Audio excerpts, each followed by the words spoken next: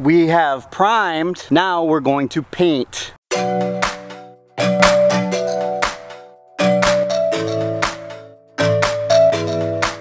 We mixed the orange paint. We got a new paint gun that we're gonna try today. We The other one is uh, still got gray in it. It's just easier to go buy a new one, so we did. And we're gonna get the other one painted up, started so we can do the orange on the truck. Steve went ahead and, and did all the taping today.